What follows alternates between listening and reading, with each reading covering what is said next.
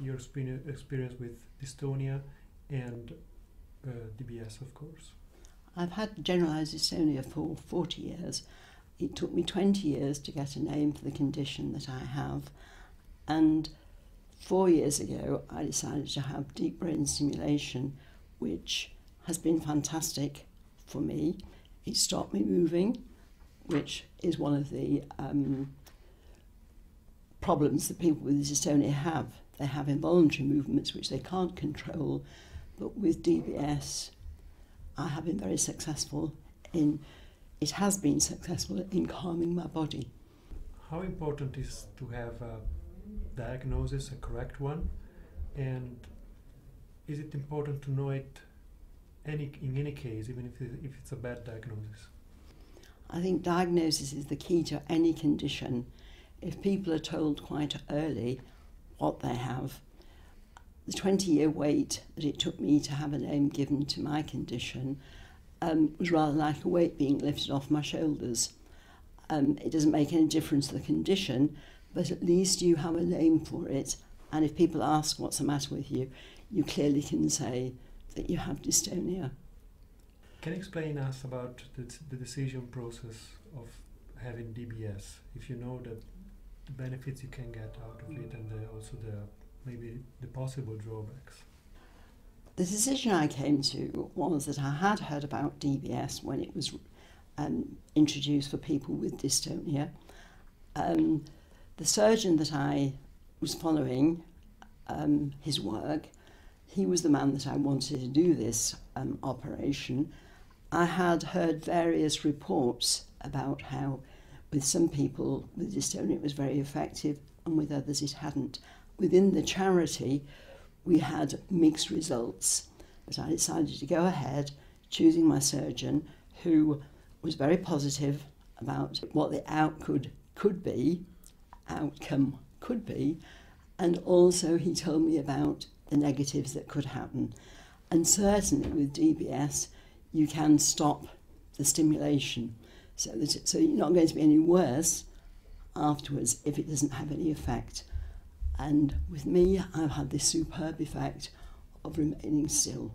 You're also actively involved in your association, EDIR, EDIR, probably English. Uh, what are the needs of the people that come to you, to your association? What, what the, are they asking for special treatment immediately or are much confused? What, what's the point there? The charity that we created in the northeast of England is called ADDA, which stands for Action, Dystonia, Diagnosis, Education and Research. So we certainly try to support all the newly diagnosed people either by putting them in contact with someone who has a similar condition. We have tea and coffee at our hospitals where um, a, a person with dystonia um, will be able to chat to people. We have a helpline. We have um, a person who helps people with their welfare benefits advice, and we generally have uh, meetings where we have speakers of a variety of topics, whether it's um, DBS or whether it is um, about botulinum toxin, or whether we just have a, a friendly get together, which the next function is Ritz. It's tea at the Ritz, but it's really at a church hall in Gateshead.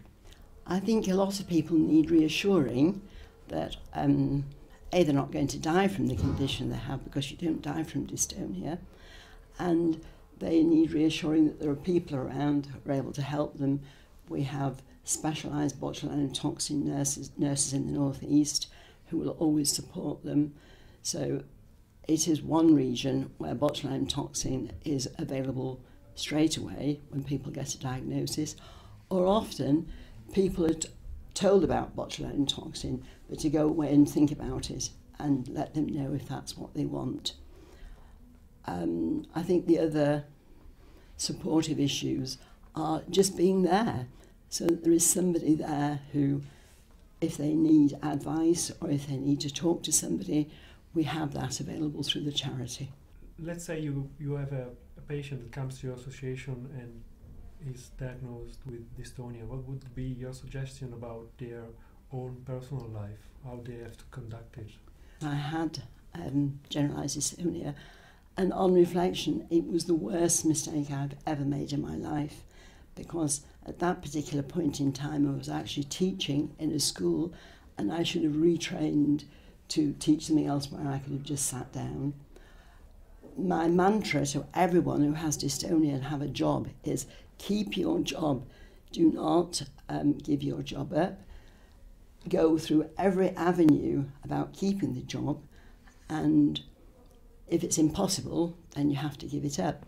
But life on benefits is not the same as the positive life when you're working.